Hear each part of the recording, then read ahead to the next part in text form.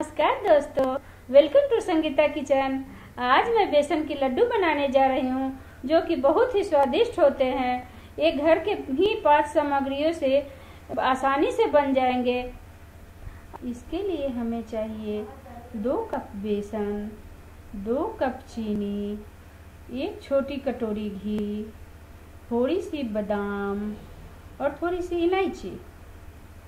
ये लड्डू बहुत ही स्वादिष्ट बनने वाले हैं।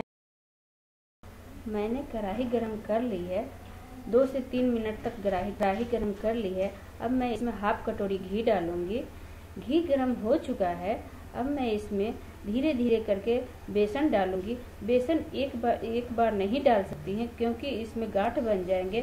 बेसन बेसन को धीरे धीरे करके पूरा की पूरा बेसन डाल देना है और बेसन को धीमी आँच पे चलाते हुए हमें इसे भूनना है।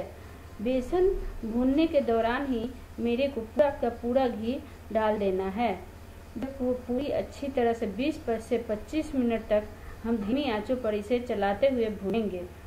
जब बेसन भून जाएगा, जब बेसन भून जाएगा तो इसका कलर चेंज हो जाएगा। जब ये अच्छी तरह से भून जाएगा तो मैं एक छोटी सी सीक्रेट बताने वाली हूँ दोस्तों, जिससे बहुत ही स्वादिष्ट बनेगा ये लड्डू और हलवाई के जैसा बनेगा। जो जैसा आपने मार्केट में देखा होगा। चलिए दोस्तों, अब मैं आपसे 20 से 25 मिनट बाद मिलती हूँ। तो अब बेसन अच्छी तरह से भून चुका है। अब मैं वो सीक्रेट बताने जा रही हूँ, जिससे कि वह बिल्कुल हलवाई की तरह दानेदार होगा। ये है पानी का छिड़काव। अब मैं इसे पाँच मिनट तक ऐसे चलाते हुए भूनूँगी ऑफ़ कर दूँगी। गैस ऑफ़ करने के बाद थोड़ी पाँच मिनट तक मैं इसे चलाते रहूँगी। यदि मैंने नहीं चलाया तो ये बेसन नीचे कढ़ाई गर्म है। बेसन नीचे से जल जाएगा और लड्डू खराब हो जाएँगे।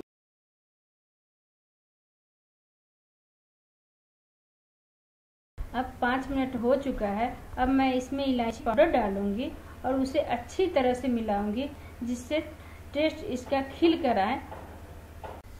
थोड़ी देर इलायची पाउडर मिक्स करने के बाद मैं इसे दूसरे प्लेट में निकाल लूँगी और उसे रूम टेम्परेचर पर 25 से 30 मिनट तक रखूँगी से वो ठंडा हो जाए।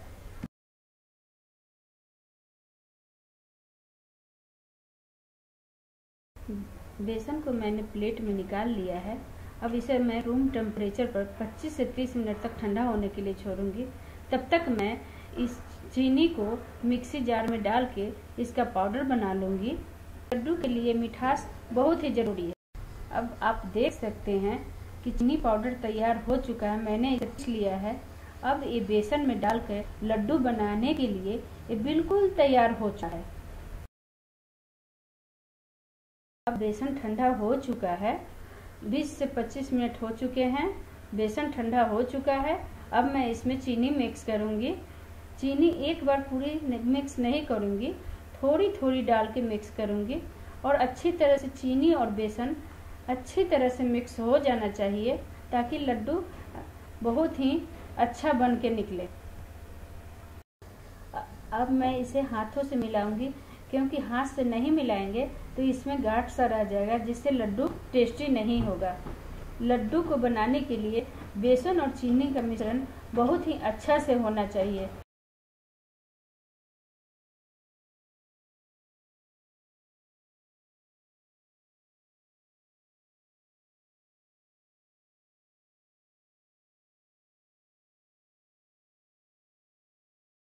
अब मिश्रण तैयार हो चुका है।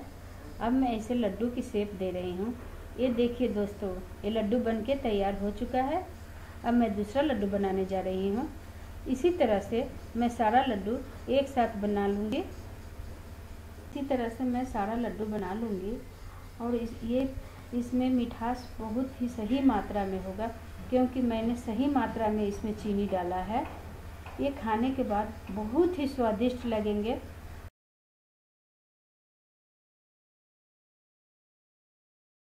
देखिए, ये लड्डू बन के तैयार हो चुके हैं। मैंने इसे बादाम से सजा दिया है, जो आप देख सकते हैं। आप, वीडियो आपको मेरी अच्छी लगे तो इसे लाइक कर दीजिए। और इस चैनल पर आप नए हो तो इसे सब्सक्राइब